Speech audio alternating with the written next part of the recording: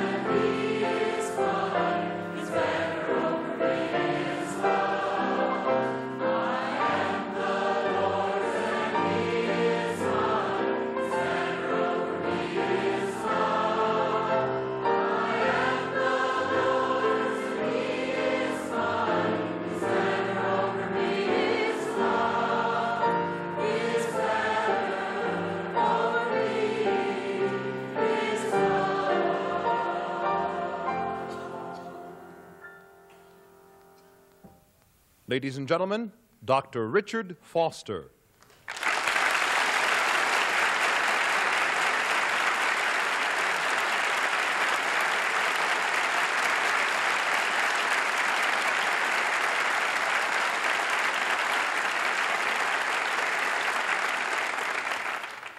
Thank you so much.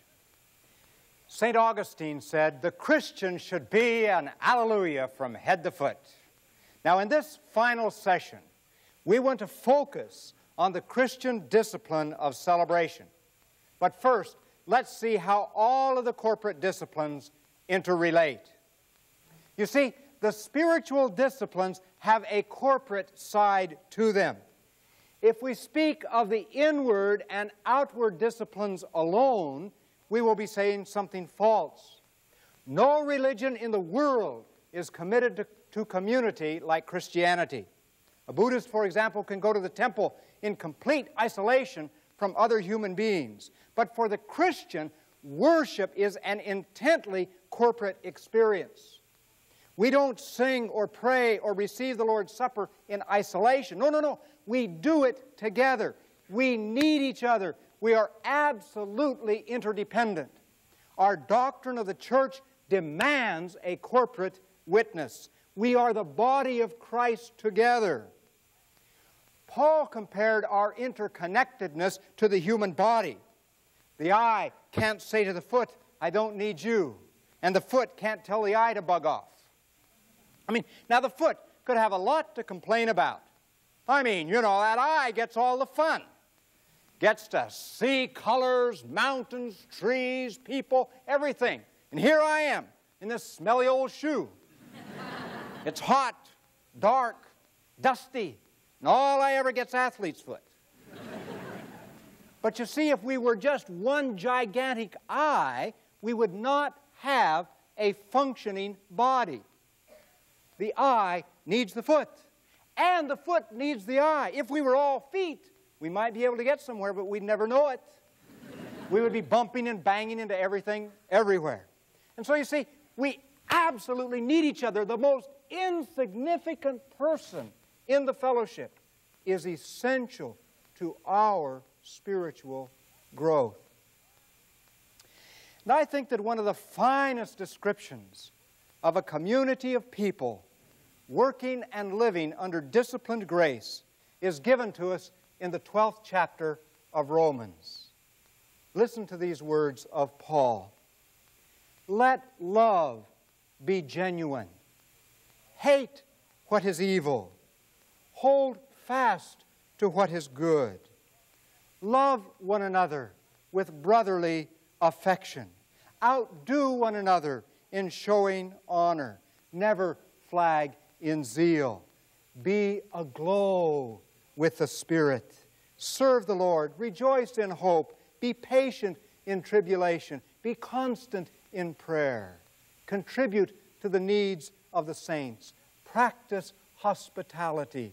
Bless those who persecute you. Bless and do not curse them. Rejoice with those who rejoice. Weep with those who weep. Live in harmony one with another. Do not be haughty, but associate with the lowly. Never be conceited. Repay no one evil for evil. Do not be overcome by evil, but overcome evil with good. Isn't that a beautiful description of a community of people living in disciplined grace? And so the spiritual disciplines have a corporate side.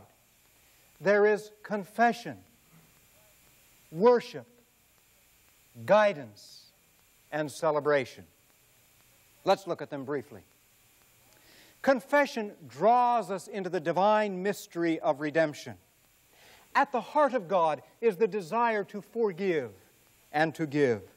And that's precisely why God set in motion the entire redemptive process that culminated in the cross and was confirmed in the resurrection. You see, on the cross, Jesus accomplished his highest, most holy work.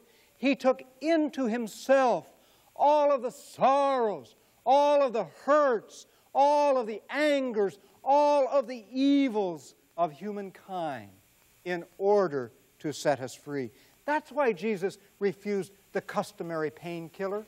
He wanted his mind to be completely alert for this greatest work he had to do. Some people think that when Jesus shouted out, Eli, Eli, lama sabachthani, my God, my God, why hast thou forsaken me? That, that it was a moment of weakness. Oh, no, no, no. They missed the whole point. It was his moment of greatest triumph, for he had become so identified with human sin that God had to turn his back upon his own son. Stretching all the way back to the very first act of disobedience in the garden, Jesus Christ drew into himself all of the violence and anger and, and bitterness and hurt and fear and he brought it in and redeemed it all. But not only that, he took all of those who were living around him, those who were watching him die, and those who were living at that time, and he brought into his own body their sin, their hurt, their fear, their violence, and he redeemed it. But there's even more. Because Jesus Christ lives in the eternal now, he was able to stretch forward into human history uh, up to our time and to the end of time as we know it, and bring into himself and to redeem all of the sin and violence of all humankind. Now, just to get some idea of what that might look like, let's take one tiny little pinpoint in human history. When the atomic bomb fell on Hiroshima, in some mysterious way, Jesus Christ on the cross took into himself all of the screams of that event. And then, as he felt the last twinges of evil pass through him and into the arms of the Father, he was able to announce in victory, It is finished. It was more than that his life was finished, but that this great work of redemption was finished. It is finished. Now that's what makes confession possible. I spoke once on tragedy. After the service, middle aged fellow came up. He was obviously a visitor. He was kind of a tough looking sort of fellow, but he had tears in his eyes, and he said, I want to speak with you sometime. And I said, Sure. Now I set an appointment to go see him on a Thursday night. Oh, I was so serious in those days. Very rigid. I, I had this system I wanted to lay on him. You know, I was going to make him a Christian. and uh, so I went there. But I couldn't get a word in edgewise. He began to pour out to me his hurt and his need. And uh, uh, he, he, he for 26 years had lived in depression, the deep heaviness upon him. He would wake up in the middle of the night screaming and in a cold sweat. And he told me how that 26 years ago, that would put it in World War II at that time, he was a ranger in Italy. He was sent out on a mission in charge of 33 men. They got pinned down by the enemy. And all day long he prayed desperately that somehow God would get them out of there. But it wasn't to be. He had to send his men out two by two and watch them get killed until finally, in the early hours of the morning, he was able to escape with six men, four of them seriously wounded. All he had was a little flesh wound. He told me that he became an atheist out of that experience, mad at God, full of bitterness, anger, guilt. I listened to that story and I said to him, Don't you know that Jesus Christ, God's Son, can come in and heal that old bitter memory and set you free? He didn't know 26 years. I just slipped over on the couch beside him and I put my hand on his shoulder. That was my shy way of the laying on of hands. And I prayed a childlike little prayer. I didn't know how else to do it. I, it was the first time I'd ever tried it. I just asked the Lord Jesus, who lives in the eternal now, to go back those 26 years and to walk through that day with that man and to let him know that he was there, that he loved him, that he cared, and to draw out the hurt and the anger and the bitterness and the guilt and, and to set him free. You know, I just thought of it. I said, Lord, I so appreciate it if one of the evidences of this healing work will be that he'll be able to sleep all night long. Amen. Well, we talked back and forth for a while. After about a half an hour, he turned to his wife and he said, You know, honey, I feel good. I haven't said that for 26 years, have I? She said, No, you haven't. I thought, hmm? but I didn't say anything. That was on a Thursday night. Sunday morning, here was this man, second time in 26 years he had been in a church house. He walked down the aisle. He was three feet off the ground. He got a hold of me, lifted me up off the ground. He said, I have slept all night long for three nights straight. And every morning I would wake up with a hymn on my mind. Isn't that wonderful? I wanted to say, God, what are you doing? I haven't given him the stuff yet.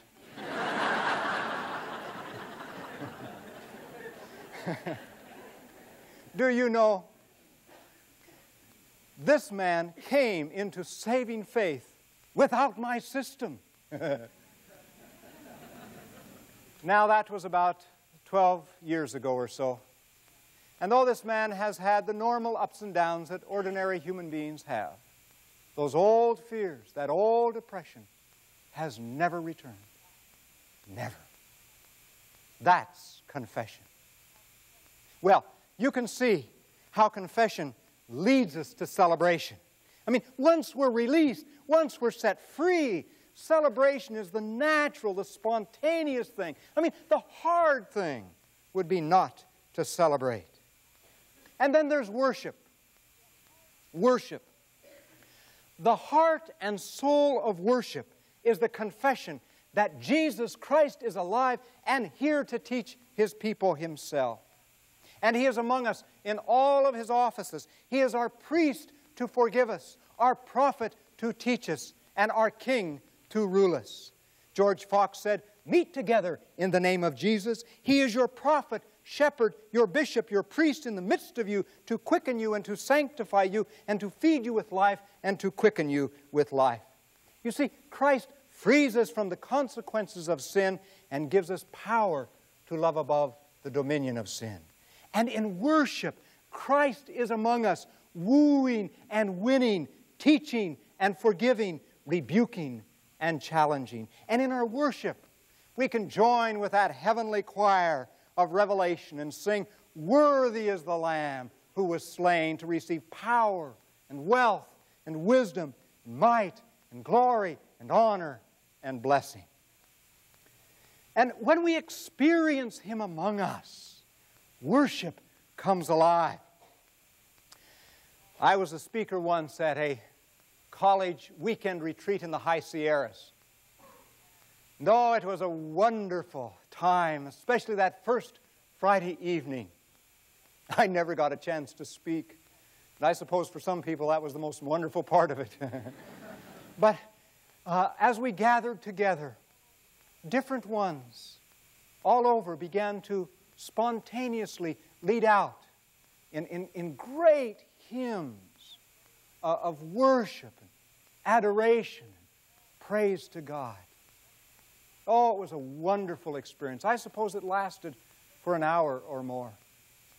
And then, without any prompting or instruction, uh, different ones would just begin to break down, weeping and, and making confession. Individuals would get up from different places and go over to others and quietly make confession or share some other need. And they'd be reconciled. And, and, and while that happened, the rest of us would, would sit reverently, perhaps singing a hymn prayerfully or, or just being quiet. And I suppose that happened and went on for another hour or so. And then it seemed that the whole atmosphere of the meeting changed again as different ones began to lead out into songs of, of praise and adoration and thanksgiving and joy. I mean, there, were, there was festivity, there was, there was a sense of dance and of, and of celebration and, and of rapture almost. I guess I'd say that those were three of the most precious hours of worship that I have ever known. Well, you can see how worship draws us into celebration. You see, God is hunting worshipers. Jesus tells us that the Father is seeking those who will worship Him in spirit and in truth. You see, God's put the advertisements out. Y'all come, anybody who's willing to worship in spirit and in truth. He's hunting them out. Like the hound of heaven, He's after us to win us, to woo us, to, to, to clobber us with His love. Uh, uh, like the, the father of the prodigal who sees his son a long way off, he runs out to welcome him back. And that's what God's doing for us, and that's why we can sing that little chorus Set my spirit free that I may worship thee. Set my spirit free that I may praise thy name. Let all bondage go and let redemption flow. Set my spirit free to worship thee. William Temple said, To worship is to quicken the conscience by the holiness of God, to feed the mind with the truth of God, to purge the imagination by the beauty of God, to open the heart to the love of God, to devote the will to the purpose of God. Worship is the highest, holiest work we are given. Guidance is also among the corporate disciplines. In our day, heaven and earth are on tiptoe, waiting for the emerging of a spirit led, spirit intoxicated, spirit empowered people. But such a people will not emerge until there is among us a deeper, more profound experience of an Emmanuel of the Spirit, God with us, a knowledge that in the power of the Holy Spirit, Jesus has come to guide his people himself, an experience of his leading that is as definite and as immediate as the cloud by day and the pillar of fire by night. But the knowledge of the direct, active, immediate leading of the Spirit upon the individual will not be sufficient.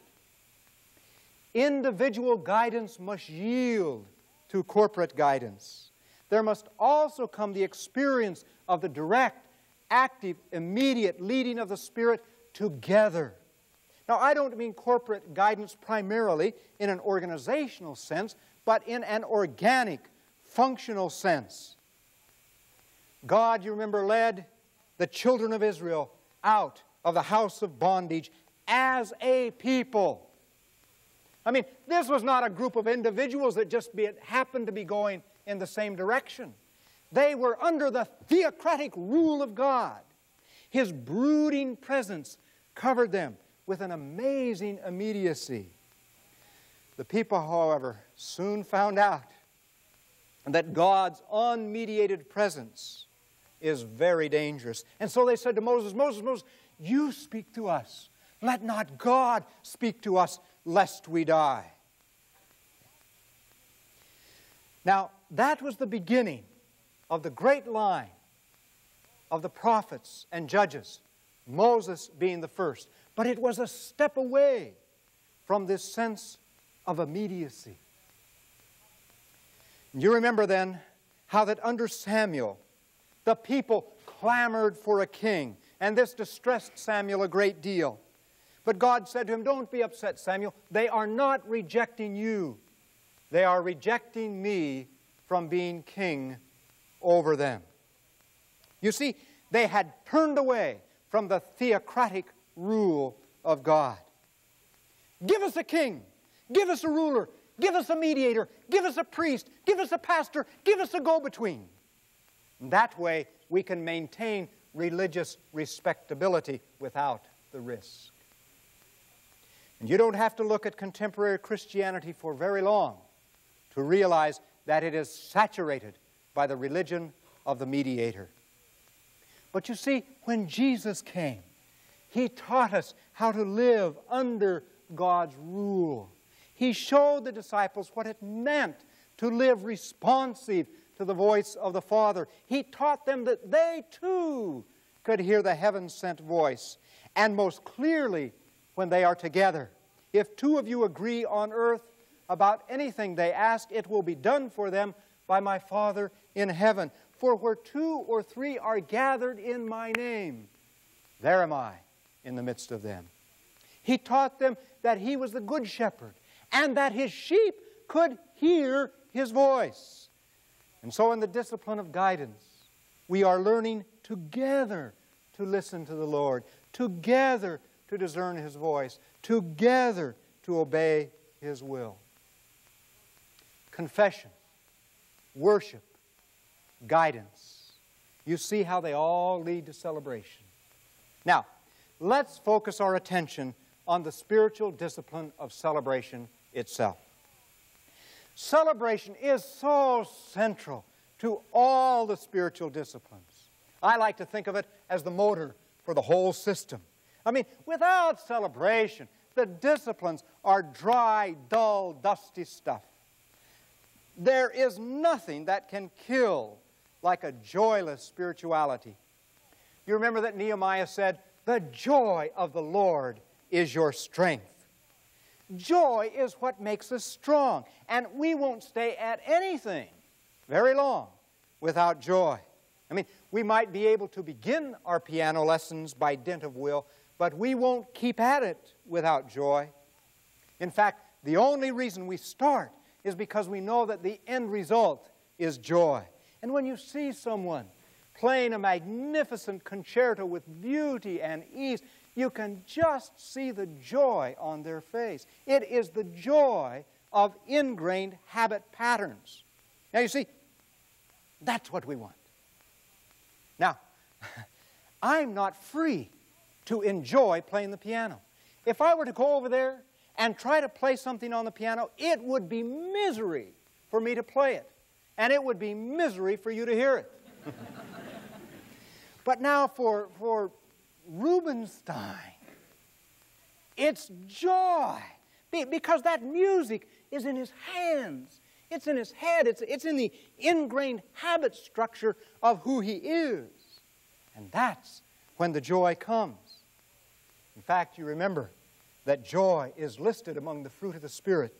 And whenever we master the spiritual life, we find joy flowing through it all. Joy makes us strong.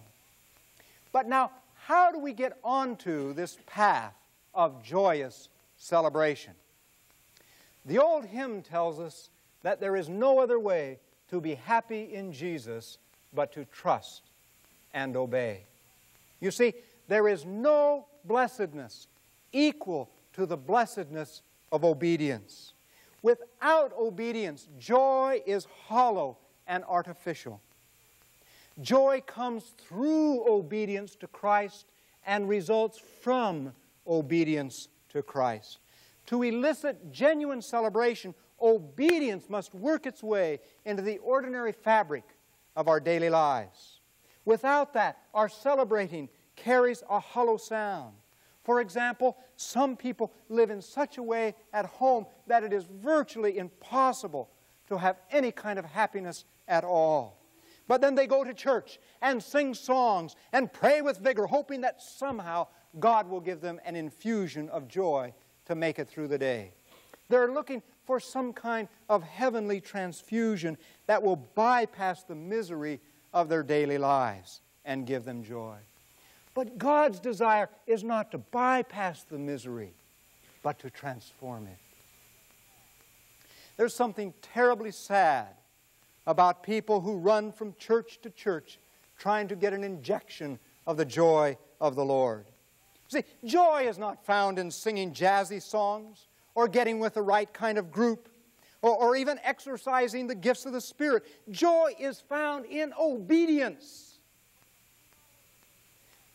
When the power that is in Christ reaches into our work and into our play and redeems those things, then there will be joy where once there was mourning. To overlook this is to miss the meaning of the incarnation. And that's why celebration stands at the end of our study. Joy is the end result of the spiritual disciplines having functioned in our lives. God brings about the transformation of our lives through the disciplines, and not until there is a transforming work within us do we know genuine joy. You see, we try to often to bring people into joy too quickly.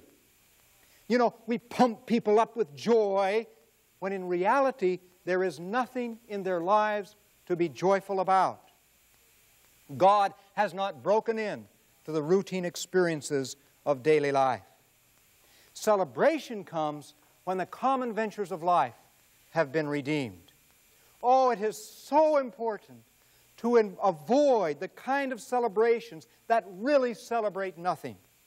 Worse yet is to pretend to celebrate when the spirit of celebration is not in us.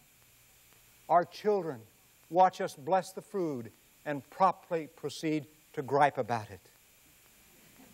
Blessings that are not blessings. And one of the things that nearly destroys children is to be forced to be grateful when they are not grateful. When we pretend an air of celebration, our inward spirit is put into contradiction. Now, what are the benefits of celebration? Well, there are many. But far and away the most important is that it saves us from taking ourselves too seriously. This is a desperately needed grace for everyone who is concerned about the spiritual disciplines. You see, it is an occupational hazard of devout folk to become stuffy bores. and we should never allow that to happen. Of all people, we're to be the most free, the most alive, the most interesting. Celebration adds a note of gaiety, festivity, hilarity to our lives. After all, Jesus rejoiced so full in life that he was accused of being a winebibber and a glutton. And many of us lead such sour lives that that would be the last thing we could be accused of. now, I'm not recommending a periodic romp in sin, but I am suggesting that we need deeper, more earthy experiences of exhilaration. It's healing and refreshing to cultivate a wide appreciation for life. Our spirit can get weary with straining after God, just like our body can become weary from overwork. Celebration allows us to relax and enjoy the good things of the earth. Celebration gives us perspective. We can laugh at ourselves we can come to see that the causes we champion are not nearly so important as we might think. In celebration, the high and the mighty gain their balance, and the weak and the lowly receive new stature. Who can be high or low at the festival of God? Together, the rich and the poor, the powerful and the powerless, all celebrate the glory and wonder of God. There is no leveler of caste systems like festivity. Now, let's turn our attention to the really important question of how we go about practicing the discipline of celebration. You see, it is not enough just to talk about it. We must have wineskins which will embody it. In the Middle Ages, there was a holiday known as the Feast of Fools. This was the time when all sacred cows of the day could be safely laughed at and mocked. Subordinates could mimic and ridicule their superiors. Political leaders were lampooned. The idea was to use festivity as a leveler of caste systems.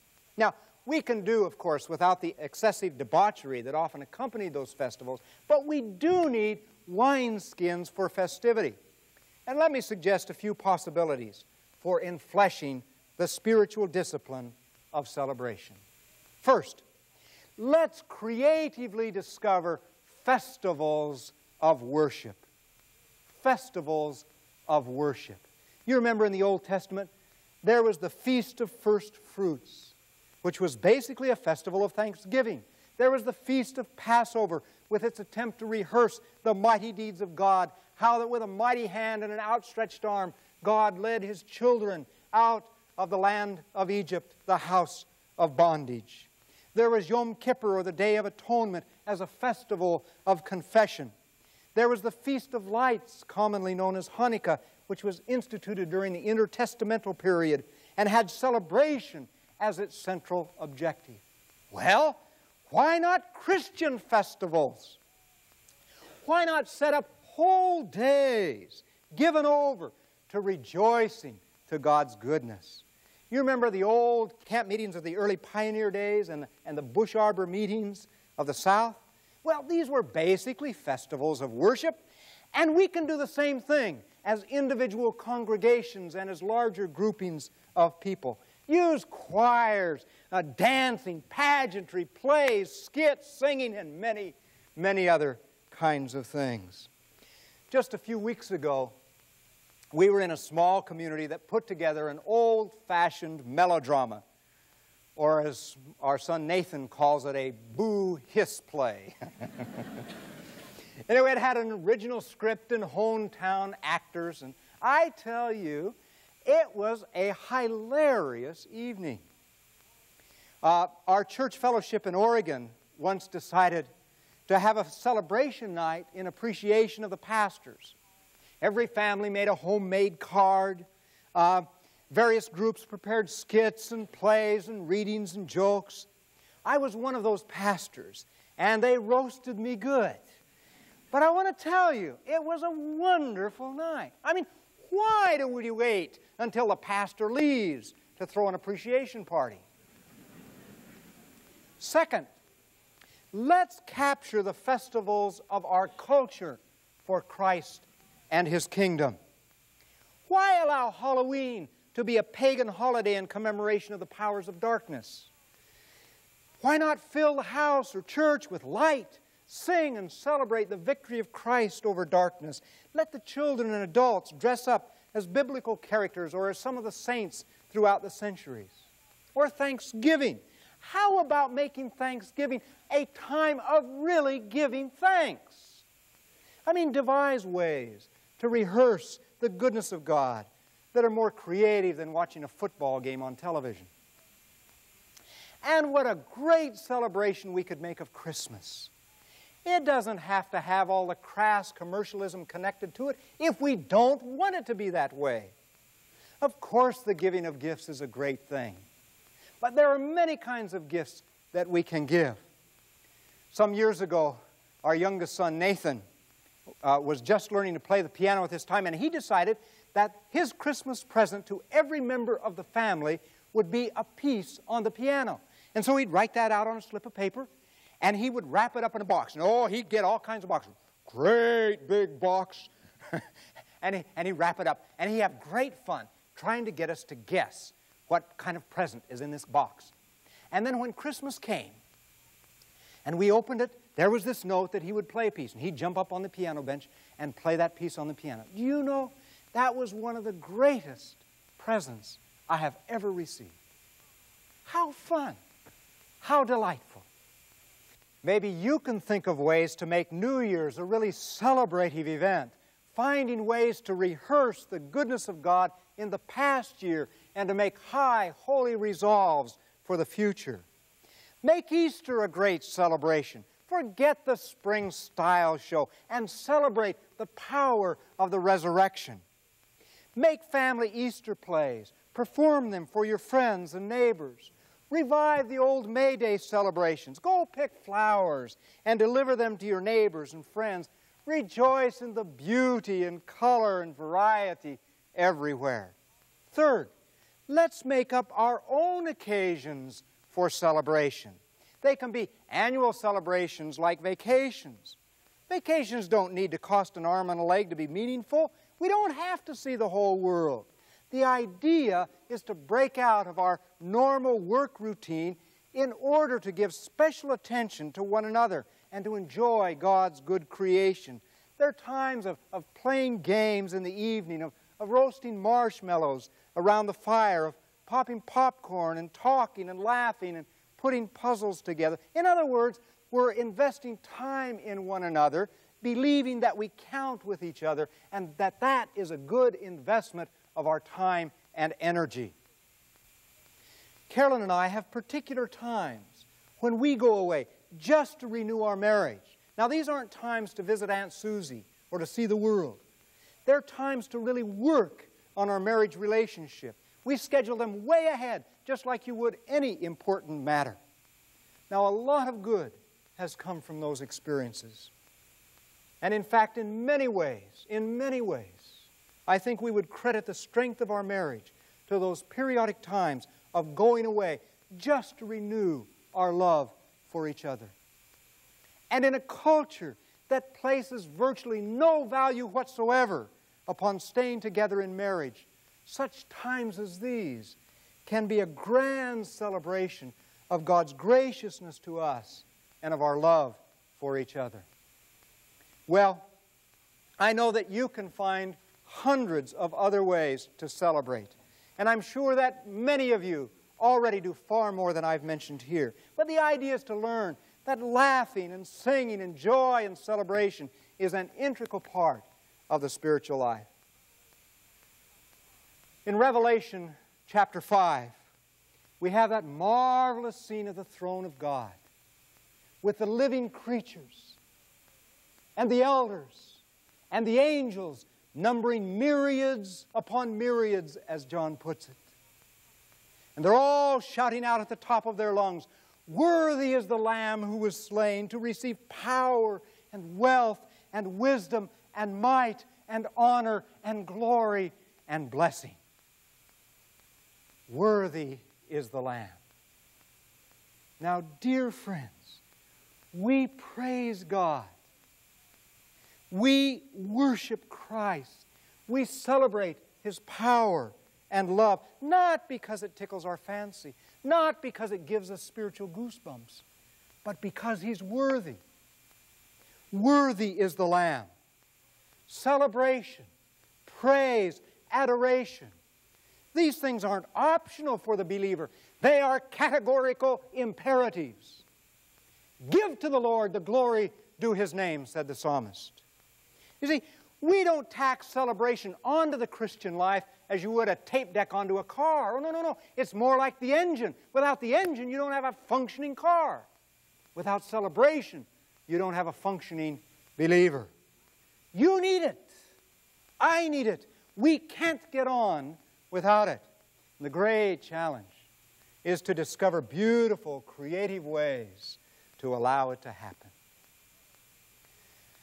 Oh, you've been so good in these sessions together. And, and I'd like to close this session with a little experience of celebration.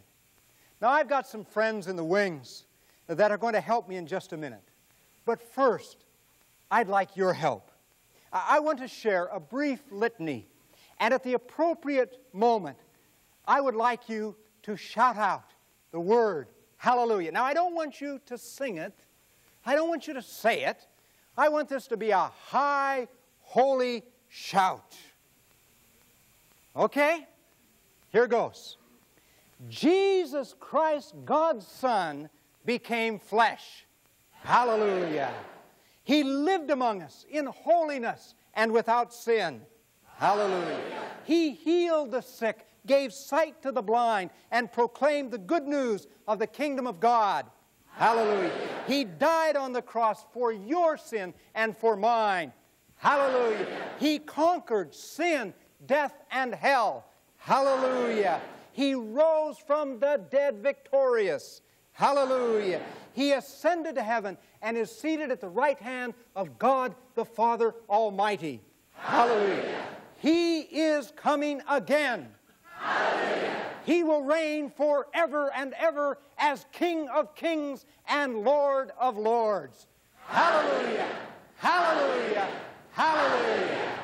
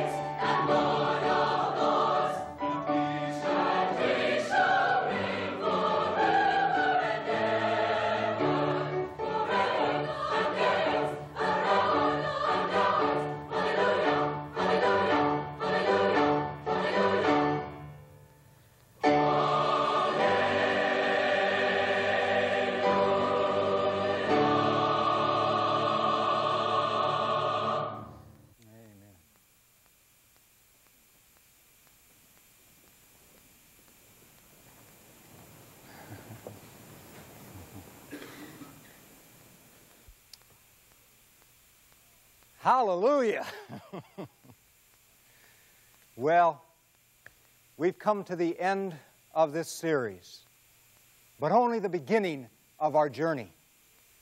We've seen how meditation heightens our spiritual sensitivity, how fasting focuses our lives, how study gives us perception, and how prayer ushers us into the presence of God.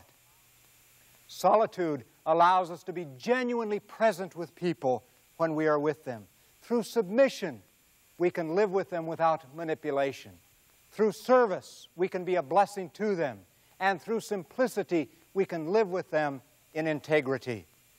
Confession frees us from ourselves and allows us to enter into worship. Worship opens the doors onto guidance, and all the disciplines freely exercised brings forth the doxology of celebration.